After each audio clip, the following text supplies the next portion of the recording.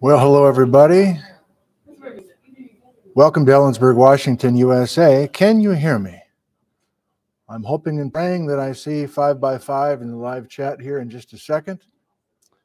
And if I get the green light from you that you can hear me, then I will go ahead and proceed. Hey, John. Okay, that's terrific. Wonderful.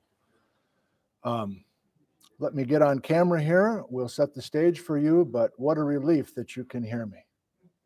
And you can see Lydia's title slide, Untangling the Magmas and Timing of a Super Eruption. Okay.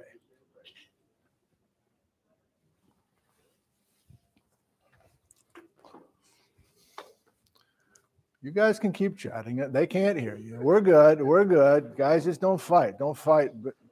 Fight. Get the fighting out now before this camera swings around on you. Okay. Hey, everybody. Uh, welcome. Thank you for joining us live. Many of you are joining us. We have 68 and more are, are, are streaming in. No pun intended. But uh, uh, if you're watching this in replay, and that's most of you, uh, it's 11:44 a.m. Pacific time on a Friday, and we're going to start this lecture in 15 minutes, essentially. So, in replay form, you can go ahead and skip ahead 15 minutes. I'm just going to say hi to a few folks. We're going to test the uh, the microphone with Lydia, uh, visiting with Hannah Shamloo here, and uh, we'll give you a chance to see the room. We've got uh, people enjoying our uh, treats outside and coffee and everything else. So, where are you viewing from? It's been a while since we've done this. Took me a long time to remember how to set this whole thing up, but I'm I'm thrilled that we're working here. So let's go. Brian's grabbing a smoke before we start. Good to know that, Brian. So Paul's in Glasgow, Scotland, Springfield, Oregon, Carthage, North Carolina, South Wales, UK, San Clemente, California. There's Don. He's back in Los Angeles. Hi, Don. You made the trip all the way up here driving to the downtown lectures. Barcelona, Spain, Denmark. Oh, I'm starting to get emotional here uh, to see all these distant places. Oh my God. Okay. Keep it together, boy. Keep it together. It's been a while since we've done this. it, it is magical. Pittsburgh, Pennsylvania, States, I'm back away. Statesboro, Georgia, LaConner, Washington, uh, Deering, Kansas, Tri Cities, Washington, lovely Ballard, Pocatello, Idaho, Dick is in the Netherlands, Woodland, Washington, Penticton, British Columbia. And if you're new to us and you're waiting to start to see this lecture, you're like, get on with it. Start introducing the speaker. That's not how this works. This is a live stream. And now we're up to 130 people. And uh, uh, before I forget, I've been meaning to say this that with these Talk Fridays, and this is, we've been doing this all school year, so this is not the first time we've done this. Um, you're like, why would I why would I view live if I can't interact with the speaker or anything? You know, in these other live streams, there's been plenty of question and answer and that sort of thing. Well, you know, I think if you've seen these before, that the format is uh, the speaker is working with people in the room, but um, I want to make a point with you right now that I would like to ask some of your questions to our speaker during the question and answer. So don't be bashful about hitting your caps lock asking a question, and I'm monitoring uh, the the live stream as I switch cameras and everything, and I'll do my best to relay your question. I don't know if that's been clear before, but you are welcome to be part of the question and answers. What I'm trying to say, if you are with us live. Uh, Letha Lee, uh, her hot cocoa and root beer is still warm. Good to know. Uh, Lancaster, California, the Villages, Florida, Keyser, Oregon. Backcountry Gary's with us. Hello, Gary um, a few more locations, and then we will. Uh, yeah, we're. I was so antsy. I just wanted to make sure I was going to have uh, this. You don't need to hear it again, but uh, yeah, our speaker is from Arizona State University, and she flew up yesterday. Uh, Geneva is in Cologne, Germany, and Edinburgh, Scotland. Hello from the United States. Central Texas, the Dolomites in Italy. Uh, whether you're making it up or not, it's just great to see. Shouldn't say that. I believe you. If you say you're from England, like Steve, I believe you. Uh, you can't make Steve. You can't make up Blaricum anyway, can you? Jim's in Chehalis, Washington, Norfolk, Virginia. Uh, Mark reports that uh, Garrett, the Dutch night owl from the Netherlands, is in the Nanaimo, British Columbia. I think that was the plan. He's visiting Jerome Lesemann. And Jerome will be here next week to give a talk. Kent, Washington. Uh, Helpma 26 is not sleeping, uh, sleeping in Abu Dhabi tonight. Hello from Ellensburg, Washington, USA, to you in Abu Dhabi. It's really crazy. Mexico City. God, jeez. Okay, well, we're approaching uh, 10 minutes before the top of the hour. If you just joined us, our lecture is beginning in about 11 minutes from now. And if you're watching live, I guess you'll have to just be with us another few minutes. But I'll swing you around. We've got mostly an empty room. I don't know why. I guess people are having a good time outside uh, visiting. Uh, but we've we've got the regulars here. So let's let's see if we're functioning with uh, Lydia's mic.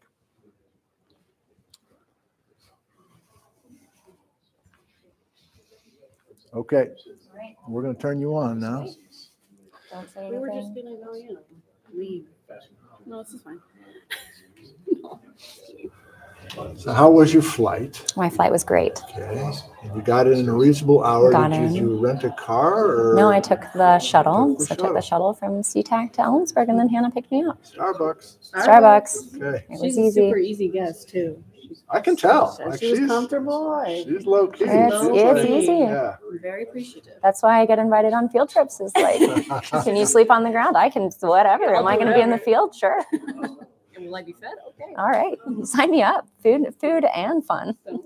All right. Well, you are functioning. Mic'd and working. Great. So we're Bye, bye, good. bye. And I'll just keep it on. So hope you know. So careful with what I say. Got keep, it. keep So don't reveal the nation's secrets. Got it. Yeah, I know. Yeah, that's written down in, in, the, in, in the front desk. So we'll pull that out for you. Okay. So you invited Lydia to speak Yes. before you met her in New Zealand. That's correct. I saw Lydia give a Zoom talk, maybe 2021. Yeah. And Mid pandemic. I was like, it just kind of held it in my head. I'm like, she's Mhm. awesome. She's very energetic and smart. And then I met her at a conference in New Zealand, and yeah, Here I am. I knew I made a good choice. Yeah, but I did accept before she actually met me in person. So you were taking a little bit of a gamble. Yeah. What if you met her in New Zealand? And she was the like, "Oh." worst. then I don't think you would have No, we invited me to stay at your like, house. Yeah, I'd be like, oh, and be like, all right, you're have we're you're gonna stay here. Six, Yeah, babe. you're actually camping in the backyard. Yeah, you said you'd come, so Yeah, we got you in the Motel Six. Don't worry about it. Okay, thank you for the report. Looks like both mics are working. I'll try not to. Yeah, it talk looks too like much now pie, but because it's- you're gonna be it's hearing just Lydia cables. As well, visiting with Hannah and others. I'm gonna go outside and wrestle some people in, but let's, uh, let's turn, turn you around and get the, uh, the dynamic, uh, row on camera. Did Thank you for, work at an observatory? Oh, yeah, but. thank you for joining us.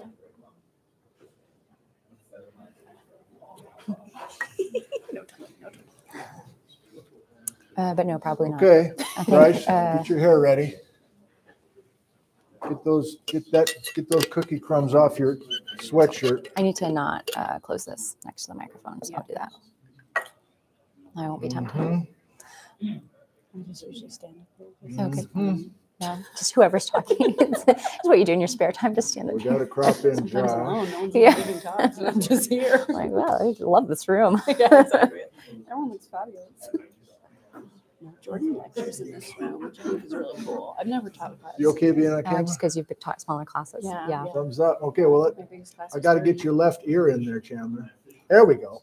Smallest classes. Chandler the van driver. It's a nice size. It's great. Because they're saying that I am losing it, 15 or Mark. 20 grad students. Yeah, that Yeah. sounds right. That's yeah, Our great. cohort, our incoming cohort was six. It's kind of small. Hey, usually you don't have have to take 10. roll or Mm. anything. Who's doing that? That's still a great quarter? number as well. And like with two to three year turnover, like it's Yeah. like it's Probably nice no to keep the department moving. Hey, Davey. Everyone's excited. So yeah, it's fun. So I'm actually co-team teaching uh, geology of the Pacific Northwest class with Chris Manson. Mm. You're gonna meet later. Is he here? He I don't not yet. know. He Okay. was up there. Okay, I missed him. he yeah. Usually teaches it with Lisa, but she's going on sabbatical, so Mm. I'm stepping in. Cool. So That'll I'll be be fun. learning a lot from him. Yeah, that's like I get to take Hey, a I'm class new as to well. this area, yeah, but sure, yeah, I'll teach a class Yeah. on it. I feel like that's the best way to do it. It's like co-teach a class, and then you're like, oh, perfect. I Yeah, get to you're learn like, I all of everything. it now. I'll talk about Helen's, but uh, yeah, that's it. Yeah. You do Yellowstone stuff. That's nearish. That's near. That's nearby. That's, that's a do than a day's drive or so. Something. I don't know. It's part of it. Not not really, but Not, you really, not, but not at all. no, But know I it's it. distinctly different. Cashman, I know her. Yeah. 2017, the that lady. classic. Or I know that figure. Yeah, I know that figure. Yeah. I know her. She doesn't know me. Yeah, I met her once. I don't think she remembers me. Yeah, it's okay. She One day very we'll. delightful though. Yeah, yeah, super nice. Did I tell you we were doing the Tongariro crossing um, in after IAVCEI and with um, with like all the Frontiers Abroad students. So there were like 30 students that were like getting across the Tongariro crossing. It's uh, Oh. like excellent, a great day. Stopping for geology along the way. Like we got like all but maybe like two students over it because of like knee problems and Oh, stuff. So like everyone makes it basically. And as we're going up, um, Kathy Cashman and Joe Dufek are doing the Tongariro crossing as well. And so we stopped and Just chatted. happened- Yeah, well, I and guess because everyone's everyone's in doing that, it right. Baby, And what so was your we, caption we had on to stop your and like so we were like sort of visiting at like this little outcrop, and then Kathy Cashman and Joe One Dufek walked by like with some grad like, students and stuff, and and we are like, hey, how's it on going? the Chatted, Lucky chatted. And then No, um, as they went away, like they're like, like that, those two though. geologists are some of the most famous. what a world we live in our field right in. now. Amen. That's so And they're like, they're like, who are they? And I was like, Kathy Cashman and Joe Dufek. And they're like, oh wow. And then, and then, we caught up to them again because we're like, we're going faster, slower, faster, slower. And so There you go. eventually we see them again. One of the girl, one of the students goes to Kathy Cashman. She's like, can you sign my field notebook? it was so sweet. And she was just like, can you? And so yeah, so she yeah, she did. She Oh. drew a little volcano photo. Says now you have to be a volcanologist, cool. like Kathy Cashman. And I was like, that's sweetie. that's so cool. That's really cool. Yeah. So like Dang, I want yeah, people were just like fangirling. I mean, that woman probably has never felt more famous in her life That's as her like two week Yeah, vacation through. New Zealand. Yeah. Like everyone stopped her, you know, everywhere. Oh, I love that. Yeah. But she was super, super nice. I, I you know, obviously. Yeah, that and makes yeah, me and Dufek is also so nice. Oh, and he's so, so yeah. So, I met those guys at CIDER. Oh, cool. Have you, have you done a No, I haven't. No, There's it's one this summer. I know it's it's. I need to get more work done for my postdoc. I So like. I was like, I'll do one at some point. Um, it won't be this time. should. But yeah, that's fair. I've heard they're awesome, but I just didn't think that I had like a month. Can we, uh, can I ask, are we still devote five by to it. five for Yeah, both that's me what it and is. You- Lydia, please? I was like, I'm gonna work at Audio. night. No, no, you're not. Like your brain You is go gonna out to be. dinner and you yeah. do, you know, I don't know, yeah, all sorts of stuff. Yeah, all, all the fun stuff. Thank so you, no, I, I haven't done a CIDER. Thank you. One day, Thank you, Mark. hopefully. Yeah, you definitely should. It was a blast. Yeah, I was just yeah, I'm just sort of in the market for like littler, um, like smaller um, conferences or smaller workshops and stuff that I could do. Good. Yeah, I think that's cool. There's a, workshop on for petrology instructors too. Oh, really? Cool. Is that through? Um, NAGT. Yeah. I think. okay. And that's in August. August, Pretty August cool. 5th, but Mm. One thing that I've been thinking of doing is like a like a structural geology, like how to teach Do I know structural these geology. guys? kind of Because it's such a Do I it know seems to be you? a thing that everybody needs. Liam, And like right. I don't yeah. do structure, but I, Right. I love structure. That's so cool. Are you thinking taking about it. Geology 304? Is that why you're here? You're just wanted to take some classes? Okay. Right. Everyone needs someone to teach structure. Everybody needs a structural geologist. Make them anymore. I'm sure they do. I'm sure like I'm sure they still make. Where are they? Where though? are they? They don't make them anymore. All right. Well, good. Liam, yeah. Well, come visit with me. We got to make sure we're taking good classes in the The fall. future of Okay? our field is truly And you, young man, like mineralization For and pathology? exploration, just for geology in general. Oh, I don't know. I think space stuff is a big is a big. I'm sure that we're now returning to us and biased because of some more CC, geology? You must. but I think space is a big thing. But I think hazards is also like a big. You're thing, yeah. I think there's always different. Yeah, yeah. Oh, you're so sweet. Thank you. I already ate half the box yesterday, so this is nice. Thank you, Hello. Lynn. Hot tamales. Do you like hot tamales? Love them. Okay. Clearly, someone didn't know, just. how sweet is that? She got a producer, and she's like, Guys, "I'm not eating these." I'm like, how are you? love I love tamales. I will eat all the time you. That's nice. Oh, we'll always Yeah, I don't uh, love hot candy. Like We'll always spicy have hot. drum Like out- cinnamon, of cinnamon altoids. Too much. Too much. Too much for I me. love that, man.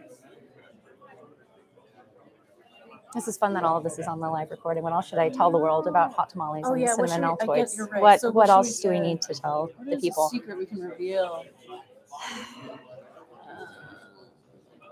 I don't know. No, uh, no tea on, uh, no national secrets for me. I know, So, same. Yeah, yeah, yeah, I know. He took all of them. Coming up short, guys. It'll be so fun. I'm really looking forward to this. Yeah, good. We are too. I'm out of practice on my teaching because I haven't gotten to teach Uh, my whole postdoc. So I'm so excited to tell people about my stuff. They don't have to. Shoot, I've right. done it. Did you want to teach? I mean, that's- N- No, but I love teaching. So yeah, so with like the postdoc is like I'm like this is the last time I only research. For sure. Oh yeah, and it's a sweet time. Yeah, yeah, yeah. And that's not true. I, I Oh, work really in college, hard. Aren't you? I published eight Yes. papers during my postdoc. I Uh, thought that Six months. substitution No, form uh, was a PDF. yeah, but no, I'd it'll be a big, forgotten big that research focus this now. But That's awesome. it'll be link. more teaching focused in the in the future. It is very sweet. So that was just totally dumb of me. So I Am will the just first one in redo all those with those A quarter? links. Yeah, it's so exciting. The inaugural spring. They're stuck, aren't they? Still? And that was the first one. Usually Oh, cool, awesome. Do you do like a, a CW professor? We and, uh, try to in the winter Okay. because it's Okay. hard to get people here. Do you guys pronounce it CWU or I've heard Siwoo. I hear CW. Siwoo. Siwoo. Central. Okay. I usually say CW. I like Siwoo though. That's good. because I heard that and I had to. I was like, yeah, quickly brain. what does this? it mean? what does this one mean? Decode, decode. I was like, got it. At the time, your student had the CW sweater on, so I Oh, got it. I got it pretty quick. It. It's like, whew. I get it now. See, this energy's really good. I know it's great.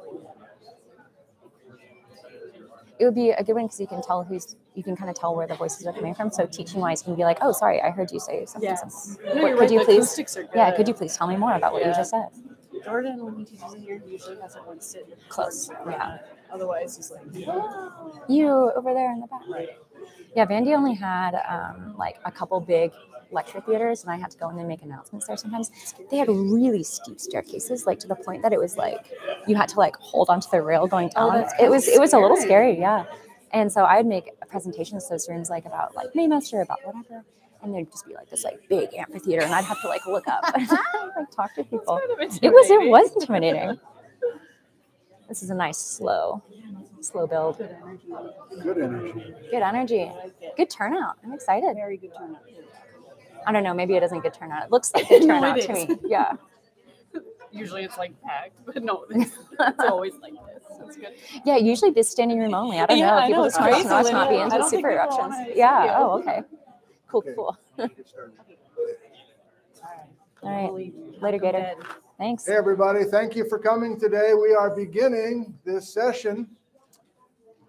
Great to have you all here. Great to see so many of you out enjoying the treats. No Vinmans this quarter. They're extra busy this spring, but Vinmans promises they'll be back in the fall. So if you're missing some of those special Vinmans treats, that will come in a few months from now. A couple quick announcements. Then we'll talk about the rest of the talks this spring. Then a quick introduction of our speaker, and away we go. Uh, the TVs are on the fritz. I don't know what's going on, but we have somebody coming over this afternoon. So only one of those four TVs is working. Uh, I think I broke it personally this morning, so it's on me. Um, so anyway, if you want to move a little closer to see the screens, go for it. But otherwise, that's the scene at least for right now. Uh, Bree McGinnis has forms, and if you have not signed forms to get permission to film you for these live streams, if you haven't done that with her yet this year, please see her after. And uh, there's two forms. There's a form to give permission for us to film. And if that's the case, then most of the room is on camera occasionally. If you don't want to be filmed, that's also a form for that. And then you stay in the shadow zone in that opposite corner over there. So that's our routine, which we've been doing all year. Any other announcements by anybody? Anybody want to say anything fun or not fun? Yeah, okay. Uh, so we have five talks scheduled for this spring. This is the first. Been a while. Been more than a month since we've done this. So we're getting back in the flow. So today, next Friday, and the following Friday, three Fridays in a row, we have talks. Uh, I'll introduce our speaker in just a second. Next Friday is April 21st. Jerome Lesemann from Vancouver Island University will be down here speaking on the Cordilleran ice sheet and ice sheet an ice sheet predisposed to outburst floods. And Jerome will be also working with the Geology 351 class both this next week and the following week. Uh, the following Friday at noon, Skye Cooley from Montana is driving over. He's talking about calcrete at Eastern Washington's geomorphic triple junction. Then we take a Friday off. Then we're back at it with Carey Gazis, geology professor here, hydrogeology, and Carey's giving a talk, groundwater storage and a sustainable water management solution. And then our final talk of the quarter, which is the last day of regular classes, Friday, June 2nd. Some of you know Max Needle, who's teaching geology, uh, geology 360, structural geology this quarter for us from the University of Washington. And Max will be giving a talk entitled Designing Video Game Style Field Geology Simulations for Research and Education. Okay, so those are our talks. You know that we live stream these. There's a live audience right now watching from distant places, but these remain as replays. And so they're very popular to watch in replay. So you're welcome to catch these afterwards as well. And look for your own face as you ask a question at the end of this. Our speaker today Lydia Harmon, undergraduate degree in geology from Occidental College in the Los Angeles area, both master's and PhD in geology from Vanderbilt University, Nashville, Tennessee. Colleague of Super Brad Pitcher, who was a graduate of here. And then currently a postdoc at Arizona State University in Tempe, Arizona. Hannah invited her up. Uh, they met each other for the first time at a conference in New Zealand this past winter so the talk today from Lydia Harmon, Untangling the Magmas and Timing of a Super Eruption. Would you please help me welcome Lydia Harmon? All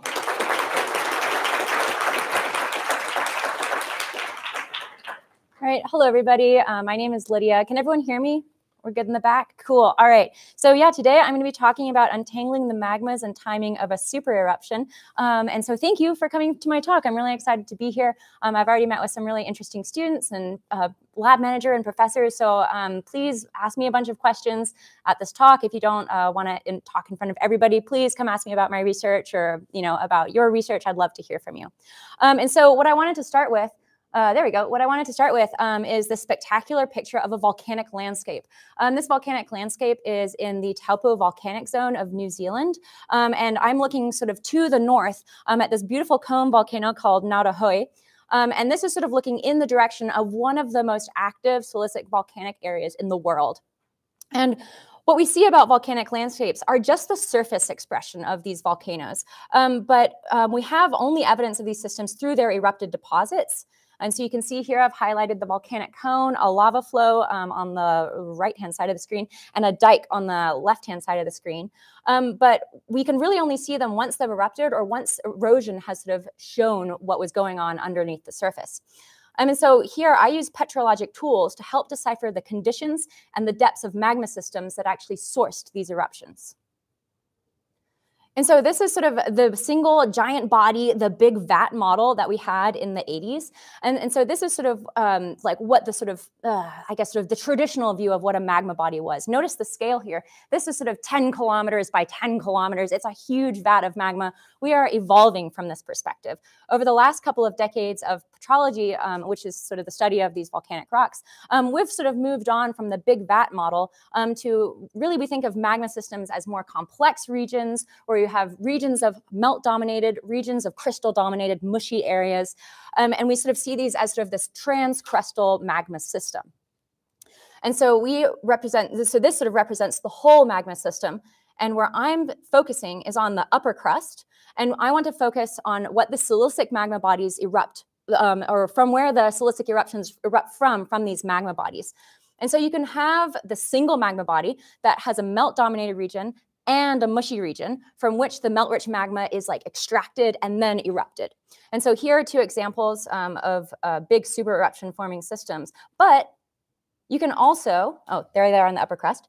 Um, but there are now different ideas about configurations of these upper crustal magma bodies. So instead of just the one model of a single magma body sourcing these eruptions, now we can have multiple magma bodies, different melt pockets that come together to form these big super eruptions. And we also, um, not only, the reason that we know this is that we now have the ability to decipher them. And so we, um, we have instances of the single magma body, and we also have instances we have instances of the single magma body, and we also have instances of multiple magma bodies sourcing these large eruptions. Um, and in all cases, these magma bodies represent a snapshot in time. So this is just, you know, 100 years, a snapshot of 100 years or so, um, where there's a substantial amount of eruptible magma in the upper crust just prior to these large eruptions. And we want to reconstruct this to understand how the crust is actually capable of forming these magma bodies that then form these super eruptions. Is that, is that good so far? Yeah. Okay. Cool.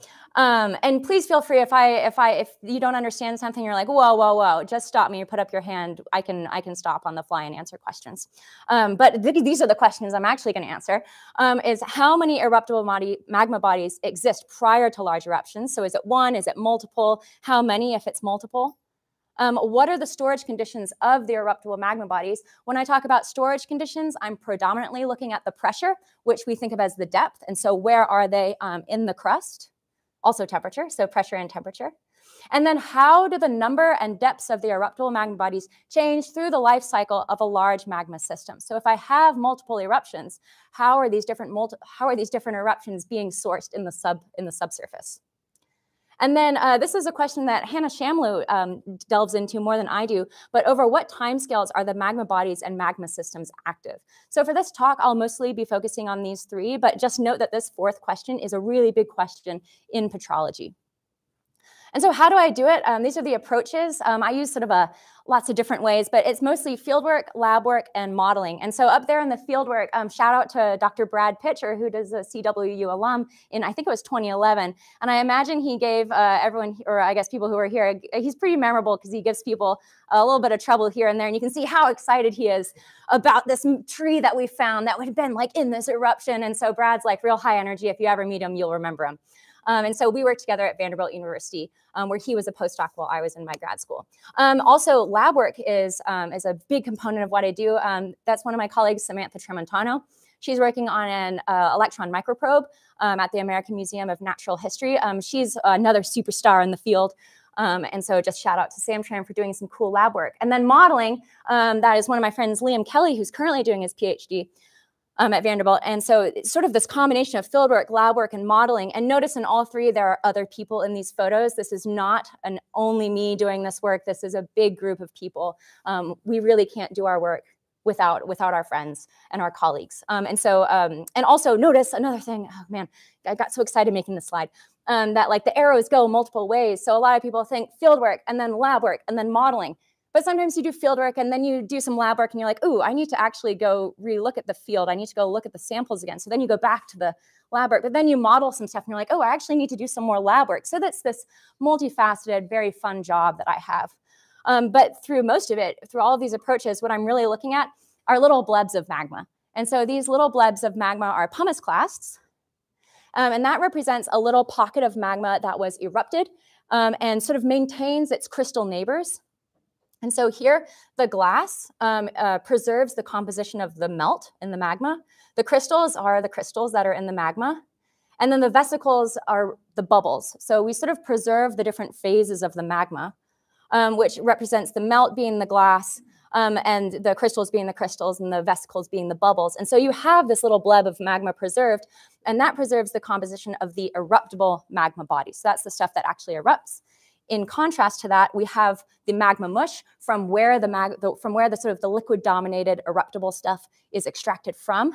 And notice that here they're in contact, but we have a couple different configurations from where these different magma bodies, like um, how they can look in the crust. We either have um, contiguous magma bodies or non-contiguous magma bodies. And the one in orange, contiguous, the eruptible magma is in contact with the magma mush. And then non-contiguous, we have the eruptible magma that has been extracted, moved up, and then stored separately from the magma mush. And altogether, we call this the magma system. So um, if I get, hopefully I'm not too jargon heavy. I try hard not to be jargon heavy, but I fail all the time. Um, so hopefully those will be the words that I use. And if, if I say something you don't understand, please let me know. All right, so Act One. Um, I work in the Taupo Volcanic Zone. Um, in the Taupo Volcanic Zone in New Zealand, which is Aotearoa, New Zealand. Um, the WH sound makes an F, so I study the Whakamaru eruptions in the Taupo Volcanic Zone, and every time I forget to introduce that, everyone goes, wow! Um, so I'm glad I remembered to do that today. So I study the Whakamaru eruptions in the Taupo Volcanic Zone. And um, notice here that this doesn't look like one of the nice stratovolcanoes that you're used to seeing. Um, this is actually a caldera which is uh, basically a hole that's been blown out because there's been so much magma that's you know been erupted that it basically leaves like a crater in the ground. And so this lake back here is Lake Rotorua, which is from um, a very large eruption from the Taupo volcanic zone. Um, the Taupo volcanic zone um, uh, is abbreviated TVZ, but in New Zealand they say Z instead of Z, and so it'll be the TVZ for the rest of the talk. But the TVZ is just a region um, and I was like, oh, I wonder how far away Ellensburg to TV to the TVZ is. Um, I couldn't really fit them on the same globe. Um, so I tried my darndest, and they're about um, 11,400 kilometers apart, uh, just a quick 7,000, a little over 7,000 miles. Um, but uh, but basically, it's the other side of the world. But you guys have volcanoes in your backyard, so everyone has volcanoes pretty close to them. All right, so Taupo Volcanic Zone, TVZ of Aotearoa, New Zealand. Um, it is a highly active um, silicic system. Um, there was an ignimbrite flare-up period from about 350 to 240,000 years ago. This was one of the most active times in the Taupo Volcanic Zone history. There were seven or eight caldera-forming eruptions, and it erupted about over 6,000 cubic kilometers which is so much. So if you think of like a cubic meter, has everyone ever like conceptualized of this? It's the coolest. So think of like a cubic meter is about the same as a cubic yard. Then think about a, a kilometer in this direction, a kilometer in this direction, a kilometer in this direction. That's a cubic kilometer. And now think of 6,000 of those. It's so much. Um, and uh, what's really was especially exciting is that the eruption that I focused on, which is the Whakamaru eruption, erupted almost 3,000 cubic kilometers. So half of that you can see here um, in the bottom of the screen right here. This is a log scale of, of erupted volume. And so this is the Whakamaru eruption, erupted over 3,000 cubic kilometers. Wow. Um, and here's another visualization of it. Notice that these stair steps indicate sort of the volume of magma through time. And this big stair step is the Whakamaru group at about 350 to 340,000 years ago. Um, on, the, on the right side of the screen is the Taupo volcanic zone in New Zealand. And you can see that uh, the different colors represent the different eruptions here. Um, everything in yellow is the is the Whakamaru, and um, and everything else is sort of this eruptions that happened after it that have covered it. Oh, it's just so much. Everything is volcanic there. It's very exciting. Um, all right, and so those were their ignimbrite deposits. Um, but there's sort of a couple different eruption styles that um, that I look at. One is a pyroclastic fall, and the other is a pyroclastic flow. And so when these big eruptions happen, they go up and out like that. And also they can like have this much faster sort of cloud of ash, gas, pumice clast, very, very energetic um, coming down, which is pyroclastic flow. And so if you look here at pyroclastic fall, how do you how do you guys think it would actually like look in the field after it after it deposited? What would it look like? Yeah, like an ash layer. And what else? And what would it look like? Stratified and stratified ash layer, yeah, and it would like cover topography. As opposed to the pyroclastic flow, what would it look like? N not stratified, yeah, not stratified. And what it does is it infills topography. And so we have this pyroclastic fall or tephra that's stratified, usually finer grained, and you can actually see the timing of the different eruptions because they just fall right on top of each other, as opposed to these ignimbrites that just down these valleys and they fill in topography. They're poorly sorted. Um, and they sort of represent this like really small snapshot in time. So yeah, so I'll be talking about both pyroclastic falls and pyroclastic flows with the Whakamaru ignimbrites. So, um, oh, I said 3,000 cubic kilometers. I think I, I, meant to say 2,000, my bad. So greater than 2,000 cubic kilometers. Um, and uh, they erupted about 350,000 years ago. And um, they're particularly crystal rich by Taupo volcanic zone standards. And also, we know already that it's a complex eruptive system because people have done some work before me. Whew. Um, I didn't start from scratch here. Um, and so there are multiple ignimbrite units. They're shown on the right side in the different colors, multiple ignimbrite units that make up the Whakamaru eruption, but they don't overlap in the field. Some go off to the west. Let's see if I have that slide. Yeah, some go off to the west, some go off to the east, and there's very little overlap to tell you which one came first, second, third, fourth, or something like that.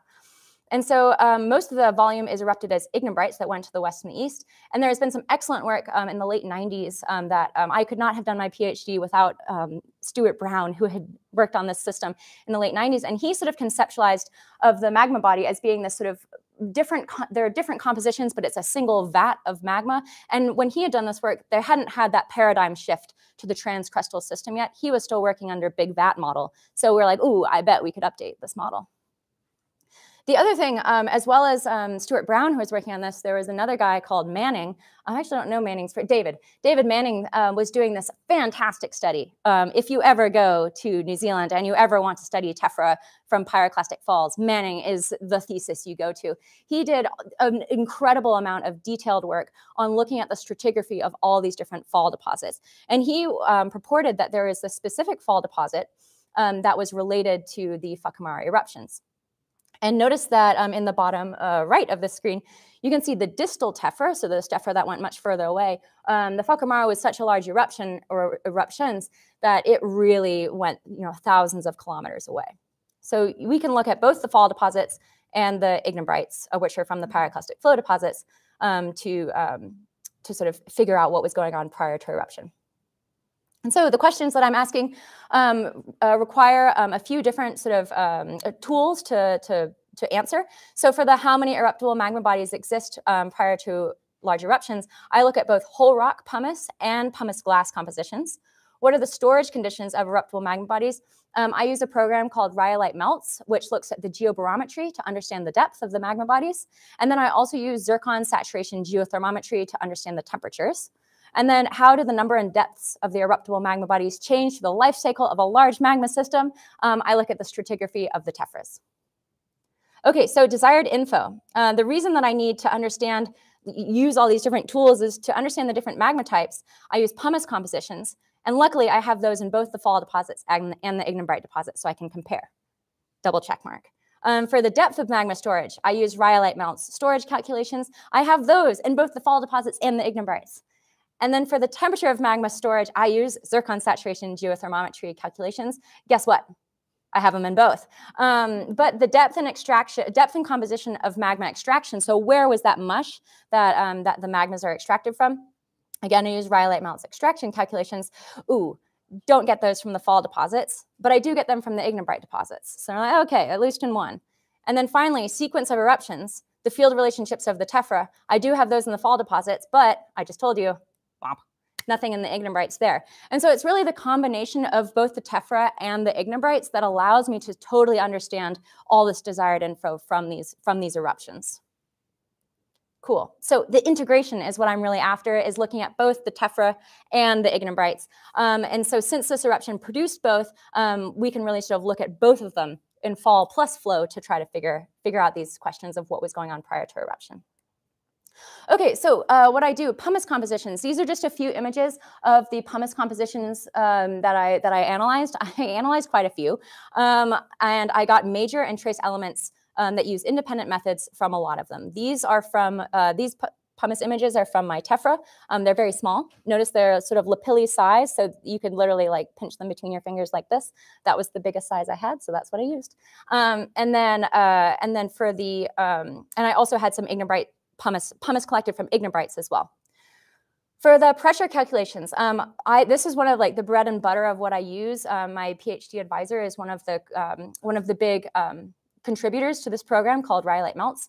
But basically what I use is the um, mineral and glass phase equilibria um, to figure out the pressures and temperatures. So if you think of like a phase diagram, you can basically track the temperature and pressure of where a mineral will saturate. So in pressure and temperature space, you can be like, these are the this is the sort of the line at which one mineral will saturate. You can also do that for multiple minerals. So once you have multiple minerals, you have these sort of surfaces coming together. And if you then look at it uh, in equilibrium with a glass composition, you can figure out the pressure and temperature at which those at which that glass was in equilibrium with the mineral assemblage that you have. Um, I can talk a lot more about this, but that's the basics.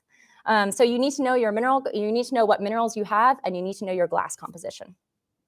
What else do I want to say here? I think that might be it.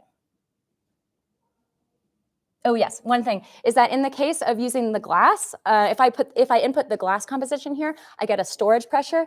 However, if I input the whole rock composition, then I get an extraction pressure. So I can use a similar method, but just with a different input to get storage conditions and extraction conditions to try to figure out the transcrustal uh, view of, of what's going on.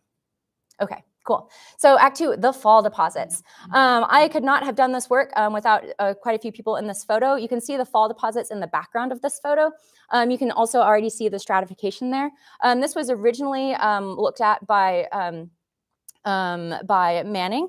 Um, and it's a few different places in the Bay of Plenty called the Kohuawa Cliffs and the Otaroaguiri Cliffs. And notice that they're way outside of the Ignimbrite range here, um, but both of them are on the coast. Um, and so, um, so yeah, and so yeah, they're just outside the Ignimbrite realm. And so here, um, again, man, Brad Pitcher's in this a lot. Here's Brad over here. Um, he, he, I mean, he makes himself known. Super Brad. Um, so Super Brad and um, a few others um, and I came and collected samples through this um, through this unit. We collected five to six lapilliclasts per sample, and we did both major element um, and trace element compositions for the glass on each, and then also rhyolite melts geobarometry and zircon saturation geothermometry on each of the clasts. Um, and so I had um, 22 horizon, oh, I guess I'm not there yet, but um, in the rest of the presentation, I'll show diagrams like the one on the right, but realize that's just a cross section through the deposits and sort of a stylized view of what the, of what the, um, what the um, uh, field, field areas look like. Um, but yeah, we went through very detailed and did all the did all the grain size analysis and stuff. And so there are two sequences. Um, there are 22 horizons from one of, from the one on the left and eight horizons from the one on the right. Uh, I collected five clasts from each horizon. Um, and to note, there are three or four paleosols in each of the in each of the horizons. And so that gives me a sense of time of where the Whakamaru eruptions happened and what was going on before and what happened afterwards. And so the correlations between the two out, uh, outcrops are marked with dashed lines. And those are really helped by the paleosols, which are those little vertical wiggles coming down. Um, and so, yeah, so there are quite a lot of, um, there are quite a lot of um, different pumice clasts. The places in red, um, that's where the Whakamaru is. So I have pre-Whakamaru, Whakamaru in red, and then post-Whakamaru in the teal. So just to remind you the questions. Um, the first one I'll talk about is how many eruptible magma bodies exist prior to large eruptions.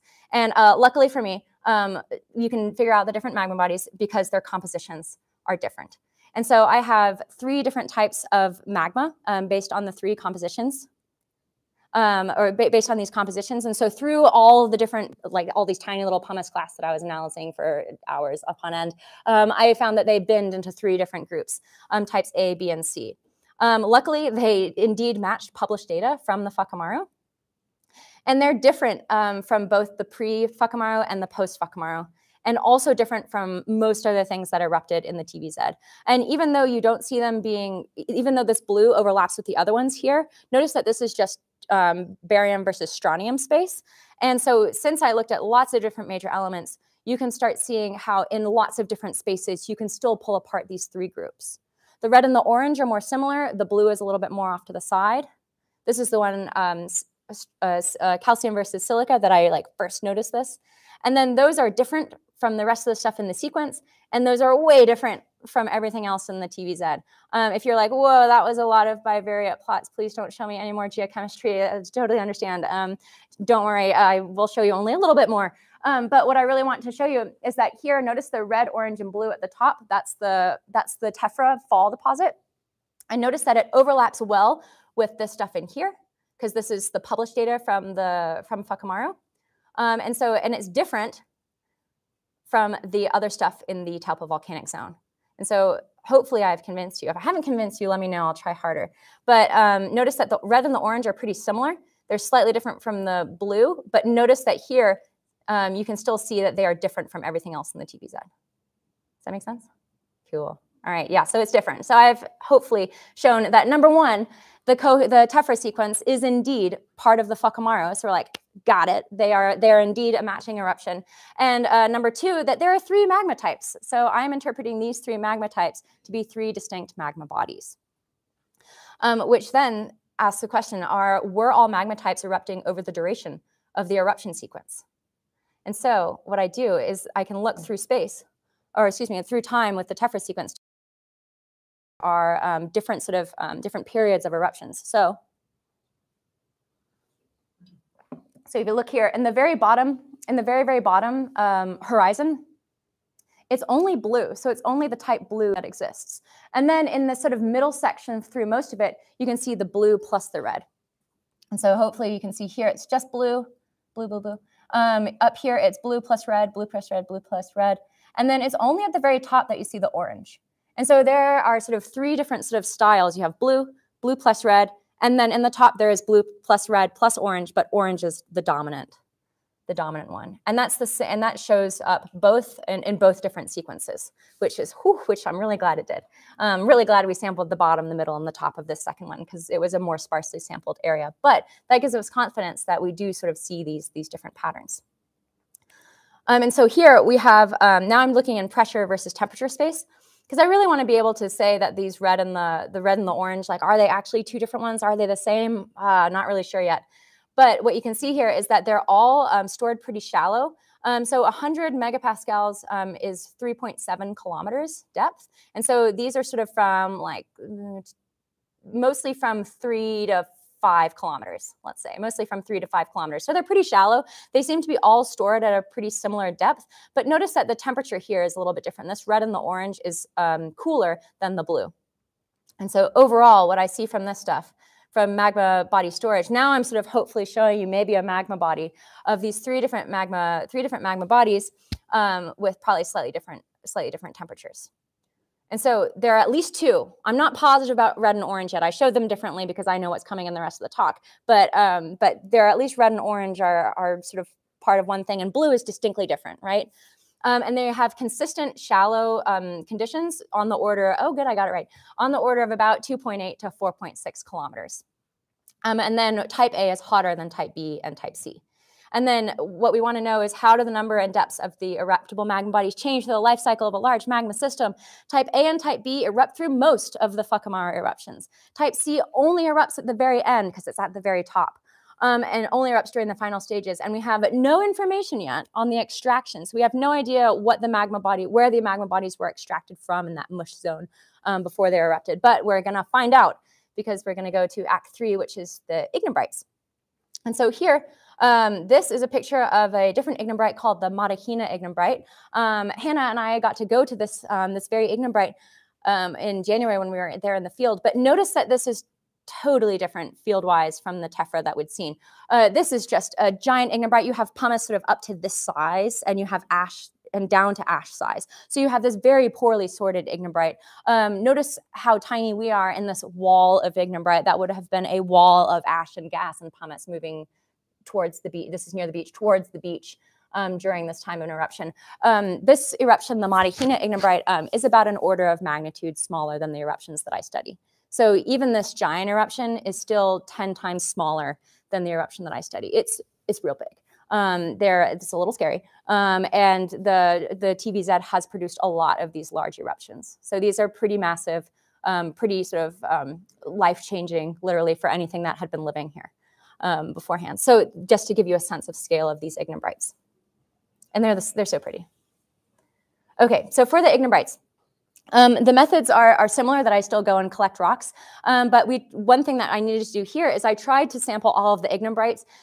Notice that most of my points are on the western side of, of, this, of this chart. Um, that is just because um, most of them are that that was where they had the best pumice clast. Um, a lot of this ignimbrite is welded, um, which means that it's it was hot enough that it could sort of re-weld and fuse the glass back together, so it creates these cliffs. Um, and so it was it was tough to sample it. Um, sometimes the glass was altered. Um, sometimes you just couldn't see it. Um, it had been covered. Sometimes it was way over there on that cliff, but how do you get there? Um, and so it became it's, it's, sort of difficult to sort of have this uh, the sampling mission that you're like, oh, I need to go collect all this pumice, but you're like, oh, I can't get there. Um, and so you work with what you have. And I think that was one one motivation for this project was that no one had ever worked on the tephra side of things, the fall but people had worked on the ignimbrite. And I'm like, well, if I just get a little bit more of the ignimbrite data, but really work on that tephra sequence, maybe I can tell something that people haven't been able to tell before. And so this is sort of the power of using the sort of the two methods. Um, and as well, the other thing that I did here that was different was within a single pumice clast um, from the ignimbrite, I was able to test or I was able to do the composition of both the whole rock and the glass of the same ignimbrite pair. So I have double information on the single erupted chunk of magma. So that was that was that was big advance. Um, that uh, that like my group and a few other groups are are starting to do is like really understanding how is this single parcel of magma how can we track that which is really important when you're looking at something that has multiple magma bodies okay um, yes I don't think I need to say anything else about that. Oh yeah, to remind you. Oh yeah, go. I could have could have could have just hit the next slide. Um, so yeah, so just to remind you, yeah, this is a bleb of magma, but the pumice clast, and so um, and so we're looking at sort of the eruptible magma body versus the magma mush. But here is where you have the pumice clast. You can have information from both the eruptible magma body and from the magma mush with the whole pumice clast from the ignimbrite, which I couldn't do with the tiny pumice clast from the tephra. Sound good? Okay, so here, um, these different uh, magma types are, these are now the whole rock compositions, not the glass compositions. So this, uh, it looks very similar. I know these plots are exactly, look very similar, but this is a different type of information being shown here. And these, uh, there were four different types of magma, primarily, uh, first defined by Brown in 1998, which was the thesis that I looked at, and confirmed by later studies that there are these four magma magma types. Um, and then the, the uh, squares are my data. And so I was like, yes, we have four magma types. It's excellent. So before when I was showing you type A, B, and C from the tephra, like I had a bit of a, it wasn't a premonition. It was very much published work that I was able to build on to uh, even be able to consider that there might be multiple magma bodies. Um, and so here with the whole rock compositions, um, you can see that I have um, all four types of magma from the, from the ignimbrites. You can see these four different types of magma similarly in different sort of compositional space. Um, and so you can, and, and with this different compositional space, you can, um, you can start to know a little bit more about the, um, about the um, mineralogy, as well as sort of like these different sort of, these different sort of uh, magma types here. And notice that uh, luckily all of the four types are sort of pulled apart in different space. Even if they're cl close together in certain spaces, other, other mineralogical or other elemental spaces pull them apart. Um, and this is uh, what was really fun here is that I have paired whole rock and glass ignimbrite compositions. So this is the pumice clast where I have the whole rock from it and the glass from the same from the same rock, um, which is which becomes really powerful because you can basically connect the dots between the different types of whole rock and glass. And this is where Finally, I'm convinced that the type B and type C are different because you have pretty similar whole rock compositions, but they really sort of separate themselves in the glass on that red and that orange down there. So you have red and orange pretty close with whole rock, super more separate with the with the glass. Um, and here I'm also pretty convinced that the um, that the types B and C are different from the type A and D. So the red and the orange are different from the blue and the green. And so here, um, this, this is just um, strontium versus barium, and then zirconium versus silica. Um, and so this confirms, in general, the compositional similarity between type B and type C. Um, here on the zirconium, on the right-hand plot, this indicates that zircon, the mineral zircon, is saturated in all magma types. That's because the whole rock zirconium is higher than the glass glass zirconium. And so basically what happens is that the little zircon crystals preferentially um, incorporate zirconium, zircon crystals preferentially incorporate zirconium, there we go, um, into their structure. And so if there is more zirconium in the whole rock, then that means then in the glass, then that means that a lot of that um, a lot of that zirconium has been taken in by the zircons. That was a lot of zircon and zirconium. Sorry. Um, basically, basically um, you can see that there is the mineral zircon in all of these magma bodies. And then on the graph on the left-hand side, the barium partitioning, um, how barium um, goes into the whole rock and the glass, indicates that type B and type C have a mineral called sanidine. And so sanidine is saturated in type A, type B and type C, the red and the orange. It is not saturated in the blue and the green, type A and D. And so this, um, you can really use the glass compositions from the ignimbrites to confirm the glass types of the tephras and also to understand the mineralogy that we might not be able to see um, in the in the mineral or in the pumice in the in the actual pumice clast. Even if you don't see and even if you don't see zircon, you know that it's there based on the chemistry. This is just another way to show that they're different, basically. Okay, so now timing of the eruptions. Um, so the timing of the eruptions has been a has been a big problem in the TVZ for a long time. A bunch of people have published a lot of different things on it, and uh, no one could come to a consensus because you can't see them together in the field. You don't know which ignimbrite came from where. You don't know which magma body erupted this ignimbrite or that ignimbrite. Some of the ignimbrites, like especially the one on the west in the orange, um, which is called the Whakamaru ignimbrite, which is extra confusing because they have different names all this stuff. But basically, you um, in the in this ignimbrite on the west side, you see multiple magma types within the eruption, and so you're like, well, how well then how do you know like which magma body was going off at at the right time? And this is where you can use the timing of the tephra to sort of help you figure out where the different where the different ignimbrites went through time through the eruption. And so on the on the east side, I have these two points as well as Yeah, I have these two points and this point. It is only type A. And remember, the place that I found only type A was just this bottom horizon. So you can start seeing that maybe the ignimbrites went off to the east first. Anytime you see only type A, you're like, oh, is that an early eruption? Probably. And so, um, and so there are a couple points up here as well that have sort of only type A. And so you might, um, so you, well, I might, um, I did, um, uh, you might, I did. Um, so you can use the distribution to say, oh, maybe those are early erupted. However, the majority of the of the deposits over here also have a red in them. Um, and so you have the blue plus red, which notice indicates pretty much this whole sort of middle chunk here. I mean, so these might be sort of the intermediate where the bulk of the eruption actually happened. And then the orange, which is only found up here, note is only in this sort of little section up here. And so that to me indicates that there was some pulse to the to the east, a lot of a big pulse to the right, and then the final sort of fan of ignimbrite probably went up to that northwest.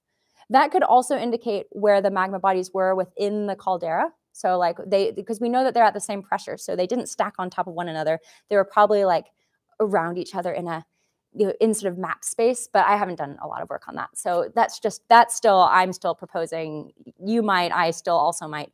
Um, and so yeah, so but basically you can see east, mostly west, northwest. So that's sort of how you can use the distribution of the ignimbrites in conjunction with the fall deposits to understand the timing of the ignimbrite eruptions. How am I doing on time? Oh, I'm oh I'm great. Cool. Um, great. Um, yeah, I do I do talk quickly, so hopefully that wasn't too fast. I get excited talking about my stuff, so yeah, great. So hopefully everyone's hanging on, like as I'm like, oh. Um, okay, so now I want to tell you about the magma body storage and the magma body extraction as well. So, so far we've only talked about the storage, right? That's where the magma body was prior to eruption. Um, and that's in these solid colors up here. So I did the same, the same sort of storage pressures again um, for, for these for the ignimbrite compositions. And so I have this storage zone sort of in that three to five kilometer range. Um, but then I'm like, well, what about the whole magma system? What about these? Where is the mush? Where did these magmas come from? And I can use the I can use the whole rock in order to figure that out. And I'm going to focus on the red and the orange here.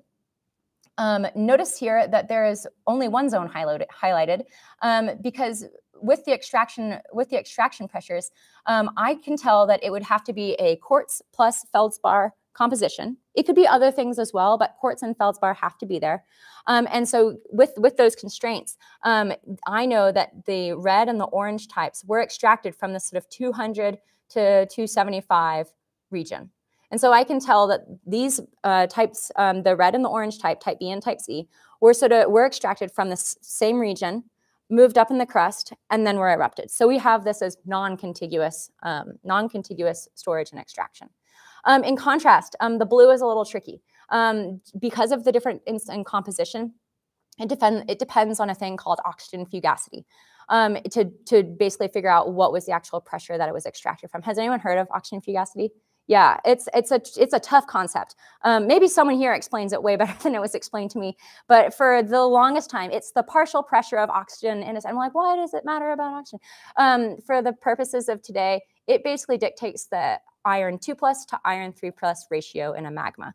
And so what depends on iron 2 plus and iron 3 plus? What minerals can form. And so with a different oxygen fugacity, which means a different iron 2 plus to iron 3 plus ratio, you will get different minerals forming hopefully, yeah. I saw like a couple nods, and maybe it's just because I'm nodding at you, but everyone went, mm-hmm. yeah. So, woo, great, yeah. So, oxygen fugacity. Um, I'm sure someone who studied oxygen fugacity would be like, no. But for me, I think that's a pretty pretty good way to explain it. But basically, it it dictates what different minerals will form, especially like things. What what minerals have more iron in them? What types of minerals? What? Yeah, like magnetite what else? What else has iron in it? What? Hematite, magnetite, hematite. Yeah. What else? Pyrite is it? Yeah. Also, what else? Think volcanic, volcanic rocks. Sorry, what was that one? There's one that there was someone said it right.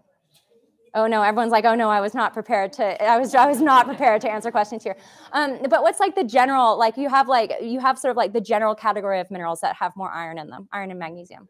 Mafic, yeah. Generally, more mafic minerals are going to be dictated by the iron, by the oxygen fugacity of the system, because that depends on the two plus to three plus ratio. So things, uh, things like um, pyroxenes are super because they have both iron, magnesium, and the structure, things like pyroxene are really sensitive. And as well, things like magnetite, the iron titanium oxides are really, really sensitive to the oxygen fugacity of a system. And so, wow, now I'm getting into thermal. I had too much, I had more time and now I'm excited about oxygen fugacity. I shouldn't have looked at the clock. Um, says everybody. Um, but yeah, so, um, but basically what happens here is that depending on this oxygen fugacity, which is based on this, it says delta NNO, um, but notice that the numbers change here. Um, basically, depending on the oxygen fugacity, that depends what minerals you'll get and also what pressures and temperatures you'll get those minerals. And so what's happening here is that I can't tell. Uh, the long and short of it, short story long, I can't tell exactly where these magmas are being extracted from because it depends on this, this parameter, oxygen fugacity. Um, and so what I can tell you is that if I knew oxygen fugacity better, I would be able to tell you if these magmas were extracted from a similar depth to the red and the orange, if these blue magmas were extracted from a similar depth, or if they are extracted from much deeper. So either my two scenarios, my two scenarios are either that they were extracted from a similar pressure, a similar depth, and which was going to be shallow, and then they erupted, or they're extracted from different depths.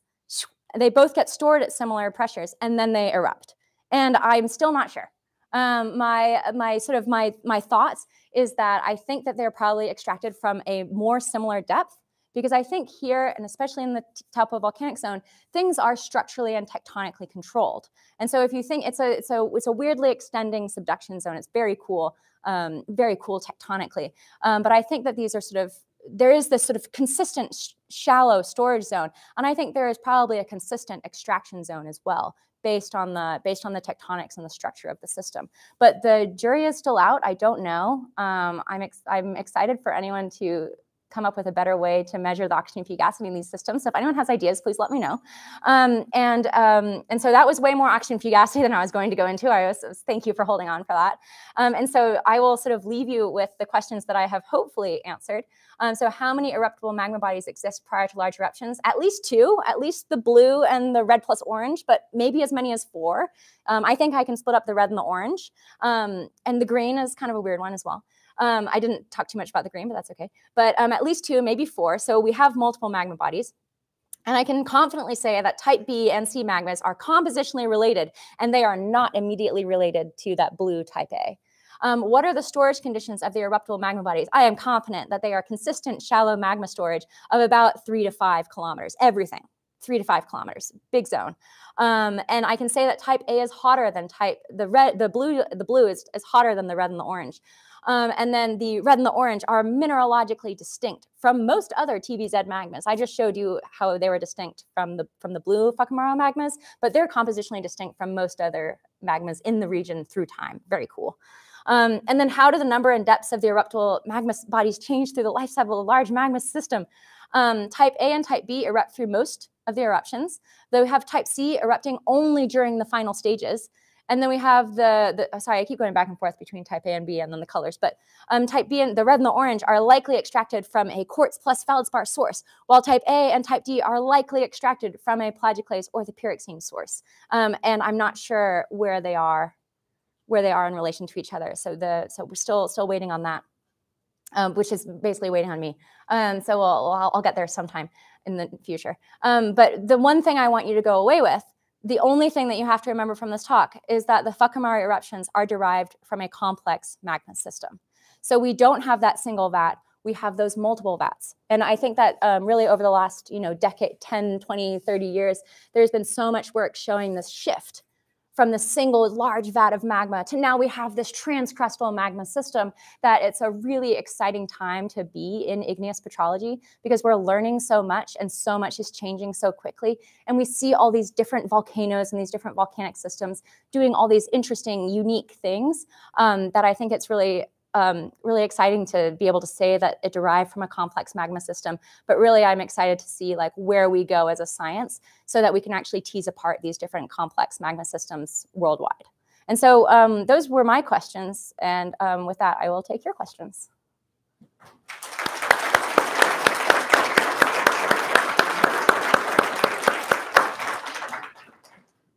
Thank you, Lydia. Questions for Lydia? And if you wouldn't mind repeating the question Oh, so sure. that our home folks can listen. I have one in the back.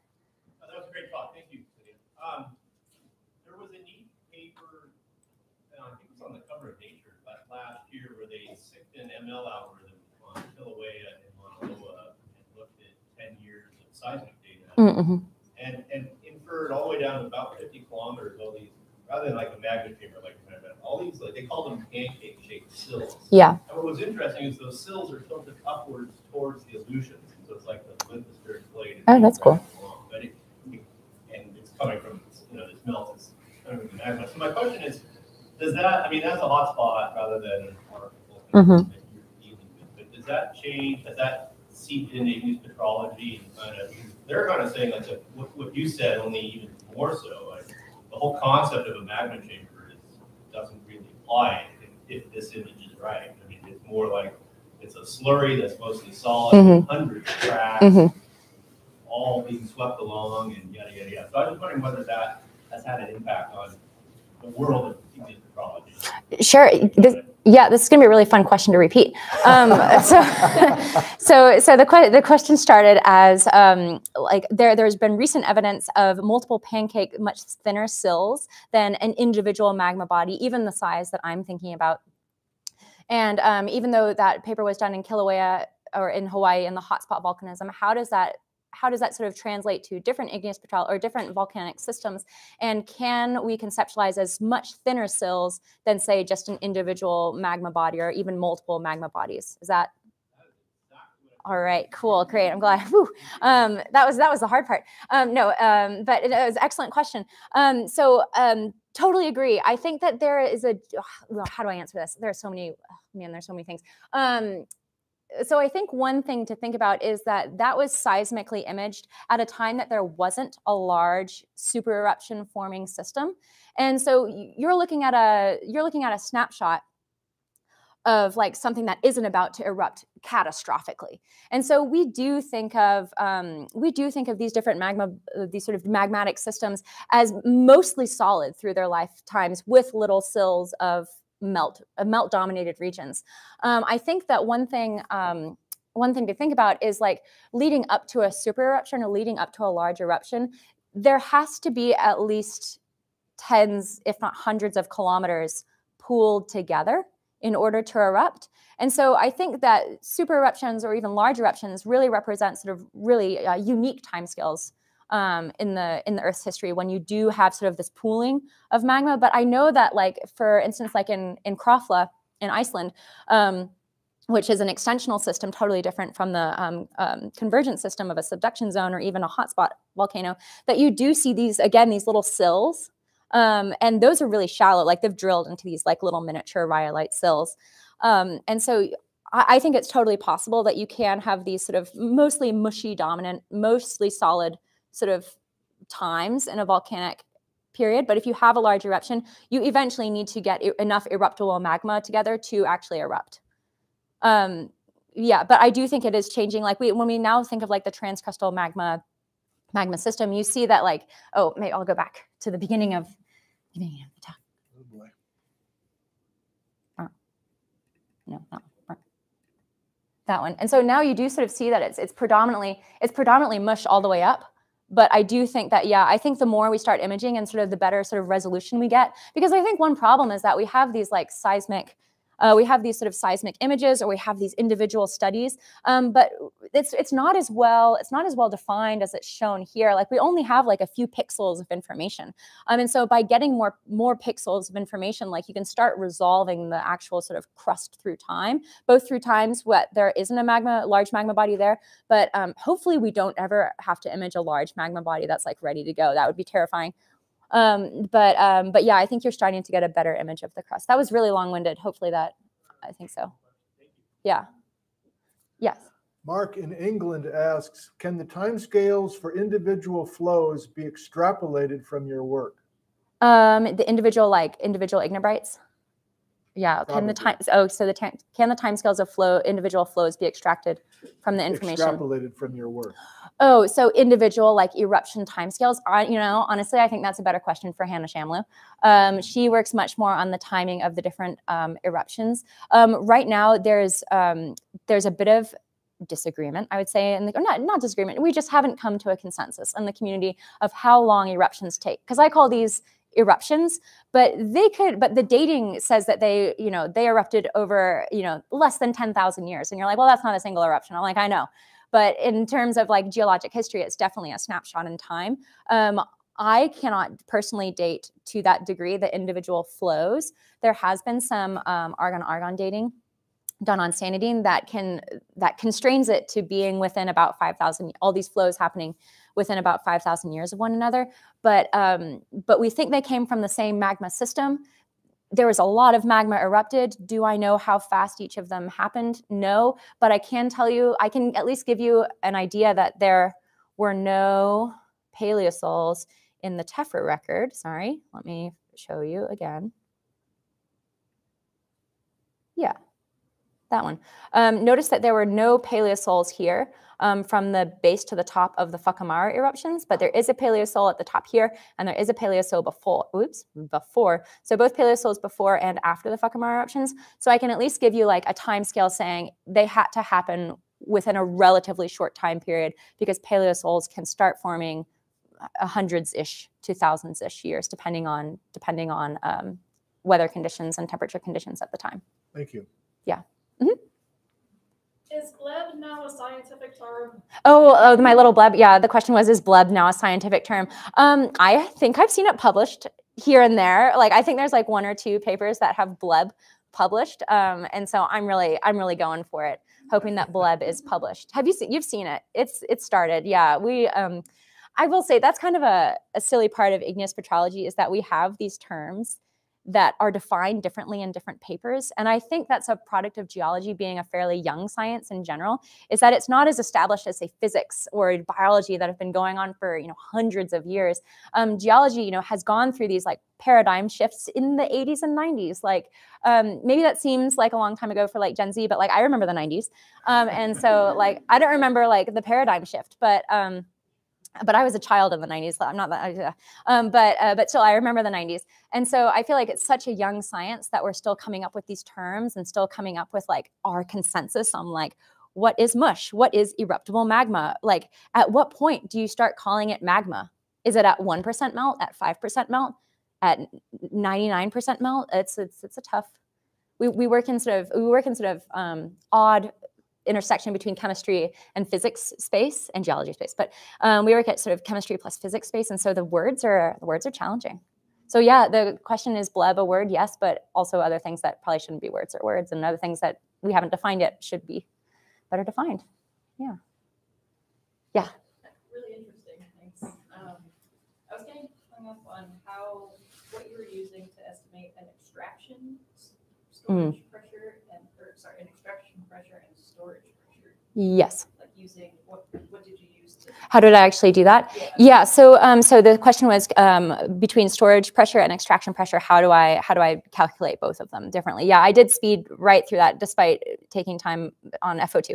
Um, but so, oh no, it's before that. Sorry, I'll show you again. So I use. Um, I don't need a. I don't need a. I don't think I need this. I'm now. Now I'm here. So now I'm gonna get it. Uh, there you go. Yeah. Um, so that's that's where I uh, look at rhyolite melts. So rhyolite melts is a thermodynamic, um, like internally consistent thermodynamic program. Um, and so what I do um, is basically look at, given an input composition, what minerals are going to be um, in equilibrium with that input composition. When that input composition is a glass, a melt, then I get then the pressure that I get is going to be in equilibrium with the minerals that should be um, that should be in the magma. Give me give me a second, give me a second, give me a second. Sorry, that's not super clear. Yeah, that's what I want. Um, so when I have the the melt, um, I want to know what's in equilibrium with this melt. And so using the thermodynamic software, I can see that, say, plagioclase, quartz, and sanidine are in equilibrium growing from the melt of a given composition that I input. Um, in contrast, and so that would be a storage pressure, because that's the point where the melt is in equilibrium, is an eruptible magma um, with the crystals. Um, the crystals don't have to be a given composition, you just have to know what they are, um, what phases they are. And so, in contrast, if I give an input of a whole rock composition, um, think of this melt here as being um, as being the whole rock composition. Um, the assumption there is that that melt can be extracted from the mush as a liquid. And so that when that whole rock that was a melt was extracted from the from the mush, when it was in contact with the mush, it would have been in equilibrium with the minerals that were in the mush. And so that when it once it's extracted, assuming assuming assuming perfect extraction, there's a lot of assumptions going into that. Um, but assuming perfect extraction, um, then you should be able to input the whole rock composition into the program rhyolite melts and under and get a pressure back, and that pressure should be the extraction pressure. I can point you to some great papers um, about uh, proving that point, but um, but basically, it, the input composition determines whether you're getting a storage pressure or an extraction pressure. Yes, there are a lot of yes. How about two more? Oh. Um, building off of that. Yeah. Um, so on the slide where you had like which you're following, right, um, uh, what data you can get out of that. Yeah. For the, uh, extraction, uh, pressure composition, you said you couldn't get, uh, that data out of, that information from the fall, uh, deposit. Is there, what is lacking in the fall deposit so you can get that information from? anything? Great. Yeah. So the question was um, in the in the slide that I had all of my different tools and what I could and couldn't get out of the different methods. Um, it was uh, it said that the Tephra I couldn't get the extraction pressures, and so Tephra I couldn't I couldn't get any information from extraction, and why not?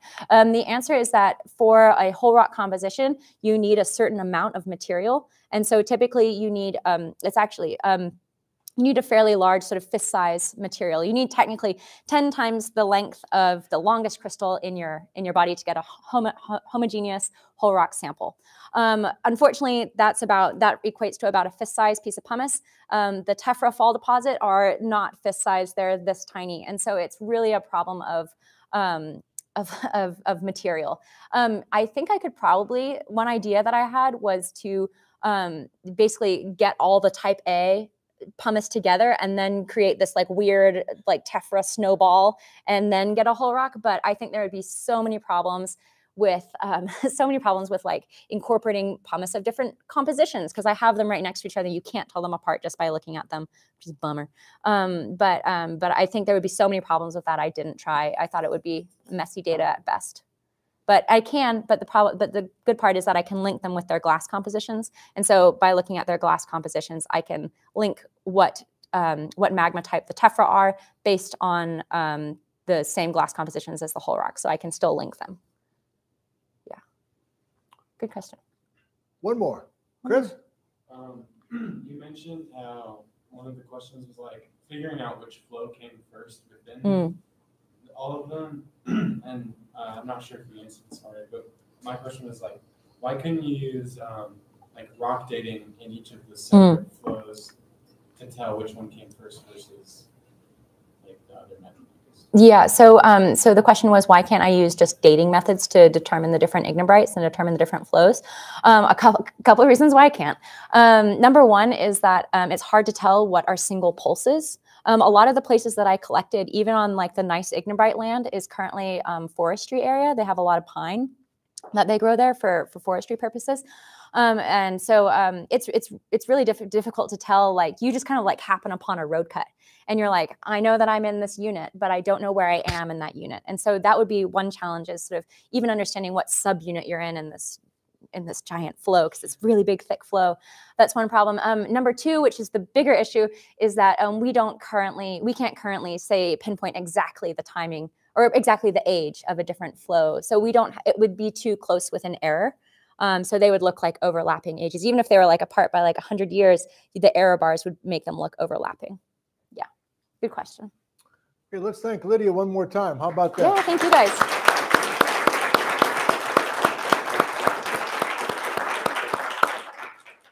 If you still have questions, come on up and talk to Lydia individually. She's going to lunch over at the yogurt place. She's doing pizza Cornerstone 4:30 if you want to join us for that. Thanks. We'll see you next Friday for Jerome Lesemann. Yeah. Goodbye. thank you everybody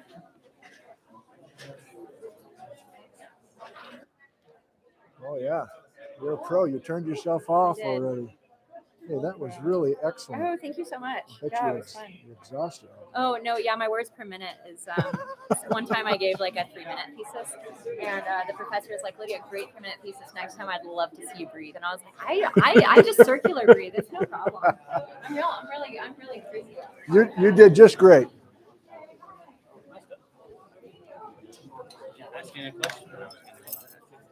Can you help?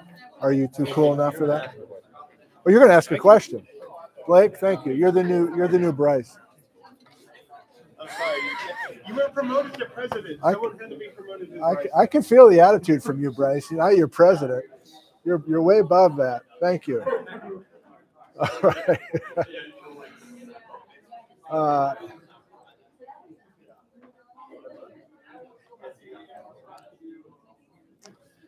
uh, Can you still hear me, first of all? Uh, Let me just say a couple final quick comments for you all. Um, Thank you for joining us today. Oops, we got people on screen that don't want to be on screen. Hang on, hang on, hang on, hang on. Hang on, Patrick. All right. Five by five, thank you. Okay, so programming note, especially if you were not with us earlier, uh, we have four more of these talks uh, this spring. Uh, many of you know Jerome Lesemann, and he will be here uh, in the flesh uh, on Friday, April 21st. That's next Friday. I think if a few of you want to come, we got empty seats here. I mean, we, we've developed this enough where we have a, a good thing going. People are attending regularly, but it's not the whole department. We have plenty of majors who choose not to come to these things or whatever. So if you want to come and listen to Jerome in person, I think you should just come. This is room 103 of Discovery Hall and you know where to park down on Seventh Avenue for free. If you don't, there's a video called Walking to CW Geology, and you walk right by Vindman's Bakery, and you're welcome to come and sit in. You don't have to be bashful about that. And Skye Cooley, some of you know him from videos as well. He'll be here April 28th, and so on. So that's the first message. Opening this up a little bit to some of you, if you feel like you want to be in Ellensburg. Um, uh, I posted the first of the four downtown lectures. It's on my YouTube channel now. Um, the other three I have, they're finished. Uh, and I'm not sure when I'll post the rest of them. Uh, maybe every one every week or I don't know, every few days, maybe. I don't know. Um, but I also have Geology 351 content uh, we had a glorious afternoon yesterday, Thursday afternoon, out at Drumheller Channels, and I had about 15 of my Geology 351 students, and I filmed. And I can now get them on camera. They've signed their little permission slip, and that's all cleared now. So I'm interviewing a few of the kids as we're hiking, a little group session up on top of the columns. Uh, I haven't seen the footage yet, but I think it's I think it's pretty good. And in case it's unclear to you, most of this stuff involving students, involving this room, involving lots of this, is just a new way to market our department. I've said it before, but I, I feel like I want to say it again. In case it's unclear to you, and you have a son or a daughter or a grandson or a granddaughter who's thinking about going to college and potentially taking geology, this is a good place to do that. I mean, why screw around? That's part of what I'm doing here. I'm trying to say this is a this is a, a functioning place. It's more than a functioning place. It's a good place, if you don't mind my saying so. Hannah Shamloo right here. Yes, sir. What's up, YouTube? Excellent. What's up, YouTube? So yeah, I mean, that's what we're doing here.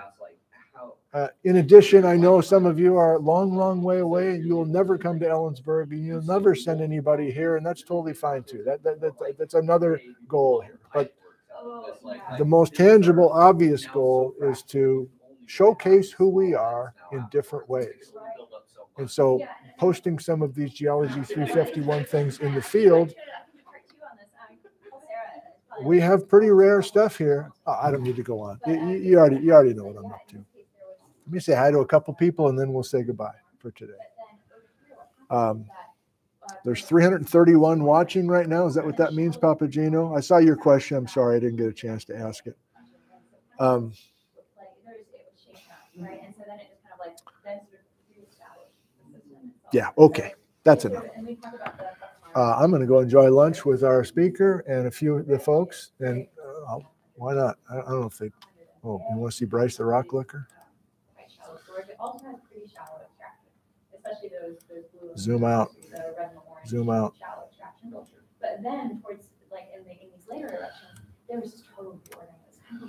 So here's some of our best students. Uh, As this whole crust kind of Three of them are undergraduates, and Tim Miller is a graduate student. But you know, you know some of those faces from past events, and I will get the camera off them now. How about that? Okay, thank you. I love you and goodbye. And there's Jim Gartrell. All right, thank you. Goodbye.